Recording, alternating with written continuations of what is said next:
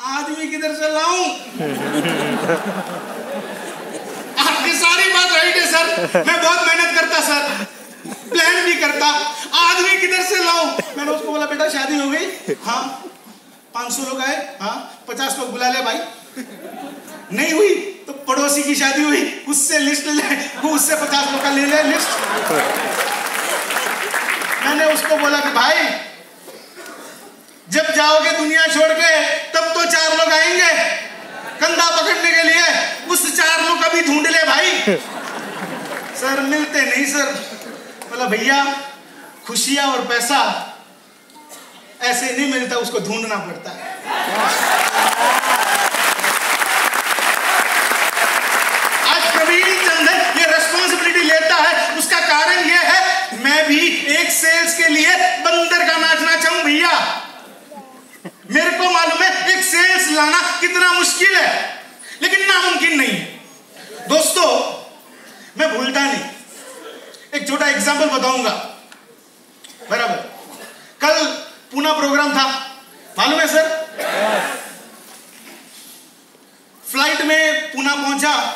मेरे बाजू में एक आदमी बैठे।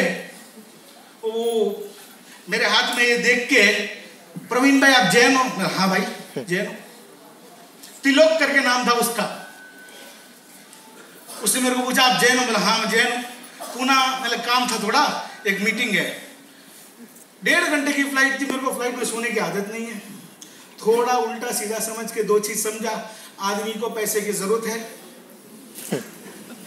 दूसरा, थोड़ा मोटा था, दुबले होने की ज़रूरत है।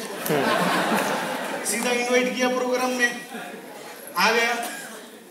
दोस्त, वो इतना शाना चार लोग को और साथ में लेके आया। और एक तो संकेश भाई का गाँव का था। कौन सा गाँव था रे वो? हाँ? मंचर। बिलीव करो, आज शाम को फ़ोन किया प्रवीण भाई, एक लाख का धंधो डाल दियो।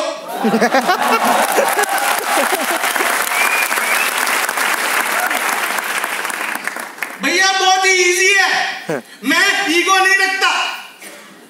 आप सबसे ज़्यादा तो मेरे पॉकेट में है। सही बात है, गलत बात है? फिर भी, आज भी फ़्लाइट में गया। क्यों? मेरी दोस्त आज आई हुई है श्री विद्या इसको थोड़ी ऐसे जाने दूँगा। इसको भी मौका दूँगा। पैसे कमाने का प्रोडक्ट यूज़ करने का। राइट और wrong three is it right और रॉन्ग हंड्रेड परसेंट आज मैं इतना तो जानता हूँ। श्री विद्या के पास मेरे से ज़्यादा तो पैसा तो नहीं है। बराबर और मेरे को कोई ईगो नहीं है भाई जब प्रवीण चंदन डेली मार्केटिंग कर सकता है तो आप सोच के देखो, आपके पॉकेट में प्रवीण चंदन से ज़्यादा है या कम है? कम है। तो दिन में चालीस लोगों को मिलो। ज़्यादा है तो मत मिलो।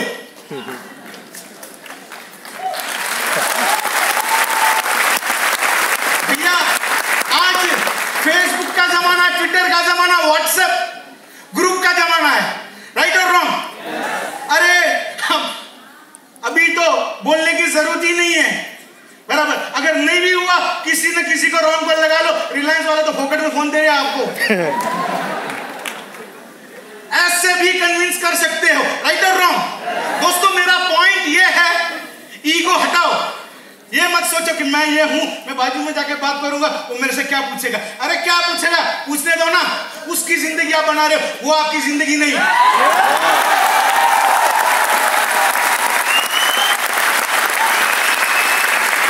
दोस्तों महीने का मैं डेली एटलीस्ट चार से पाँच लोग को कन्विंस करने की कोशिश करता हूँ और जो भी जगह जाता हूँ, जो भी लीडर मिलता है, ले भाई, संभाल। कारण क्या है? मेरे को एक चीज़ की खुशी है, मैं, मेरा पुराना दिन नहीं भूला। राइट दोस्तों, जब मैं ये कर सकता हूँ तो आप लोग क्यों नहीं कर सकते? अगर आप बोलोगे कि मेरे पास लिस्ट नहीं है तो गलत है। बहाने हैं। आपके अंदर बर्निंग डिज़ायर खत्म हो गया। आप समझते हो? अच्छे दिन आएँगे मतलब कोई आएगा? नहीं भाई, मोदी साहब ने मेरे को भेजा है, आप सबको अच्छे दिन देने के लिए।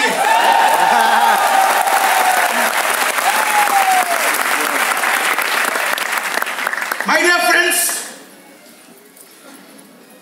touch wood I am telling you दुनिया में कहीं ऐसे लोग हैं जिनको सही प्लेटफॉर्म नहीं मिलता।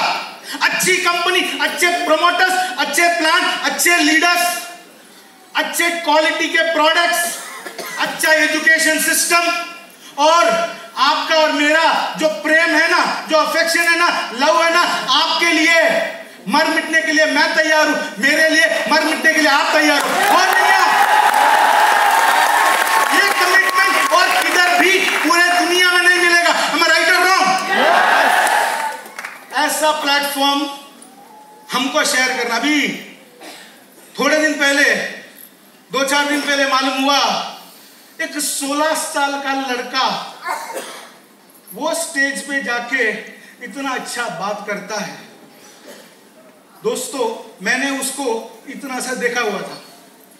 दोस्तों, मिस्टर जूनियर आयरे, बराबर किशोर किशोर आयरे का लड़का।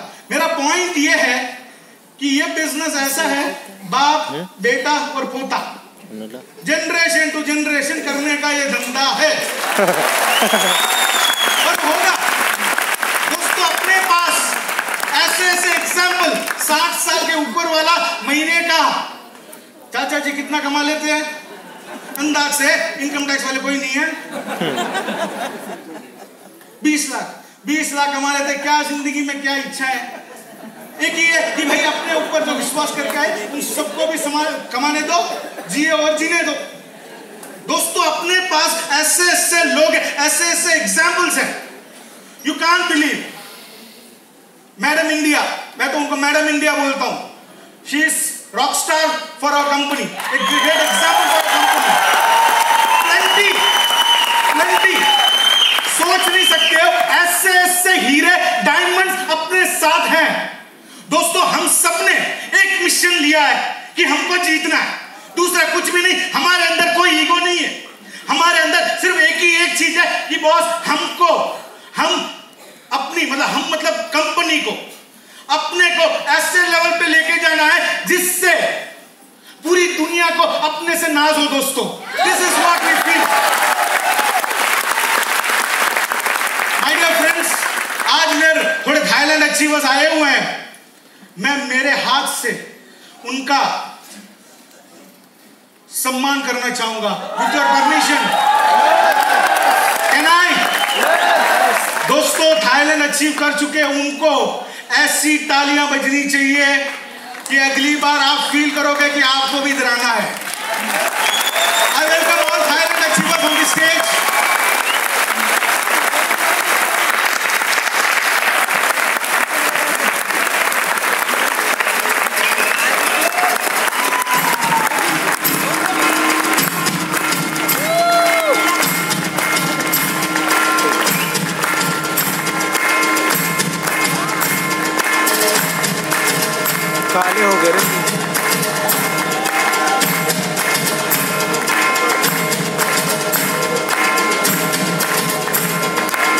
है